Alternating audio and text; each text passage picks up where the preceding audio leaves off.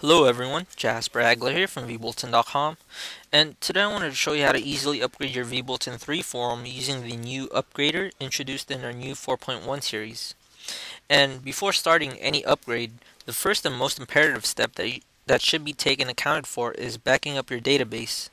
And you can find more inf information about backing up your website in our documentation page or you can uh, watch previous videos that I've created about backing up your forum.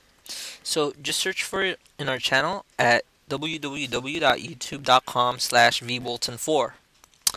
And also, before moving on, please disable all plugins that are currently running because these may interfere with the upgrade process. and so, the version of vBulletin that I'm currently running right now is 3.8.6, and I will upgrade to the latest stable version 4.1.0. So first download the files via the customer area at vbulletin.com and then after you've download, downloaded the files and extracted the content of the zip files, close your board via the admin control panel and go to the, the options and then turn your vBulletin on and off and then under the form ac active section choose the no option and save. And after turning off your forum, you can uh, begin uploading the files in the upload folder via FTP with the exception of the install.php file located in the install folder. So delete this file and then after doing that everything is ready to go. You don't need to change anything else. So just upload all the content in the upload folder via file transfer protocol client and um, make sure that you overwrite and upload all files successfully. And um, yeah, this process may take a while depending on your connection. And by the looks of it, on my screen, it will take around 5 to 10 minutes. So I will just fast, fo uh, fast forward it to the next step of the upgrade process. Okay, so everything has successfully been uploaded. We now only have to open the browser and point the URL to the install slash upgrade.php. So, depending on the directory your vBulletin is installed in, all you have to do is input install slash upgrade.php into the browser.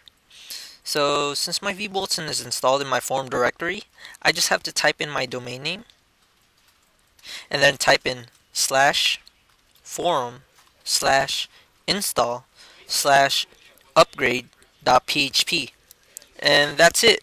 And you will now be taken to the new upgrade script where you can just click on begin upgrade. And so once it begins processing, all you have to do is wait for the progress bar to reach 100%. And um, this this new upgrade script is all automatic, so just sit back and relax.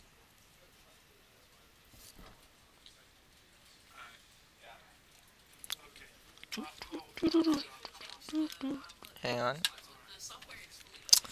Wait for it. Wait for it. yeah, we're just waiting.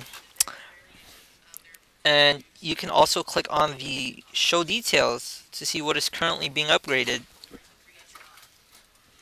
And, you know, if you have a different version of the 3 series, you can um, repeat exactly the same process for the 3.6.x and 3.8.x series.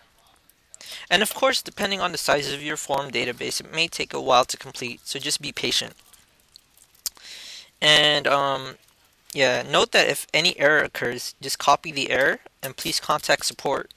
Do not continue with the upgrade. Doing so may cause irreversible damage to the database. And so I won't fast forward this video since I don't have a lot of data in my forum, so we'll just wait. And it's almost done.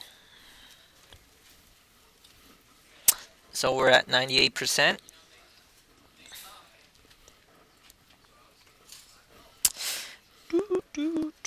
Wow, 98%, come on. Do do do do do do do do do do do do uh, I guess it's my server that's slow. Okay, we're done. Now just go to your admin CP. Just click on go to admin CP. Sorry guys, my mouse is not working very well. And just log into your admin control panel.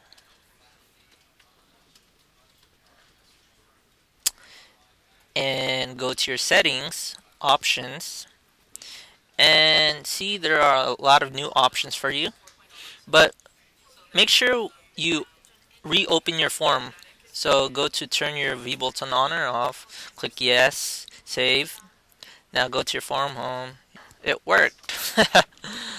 Good job.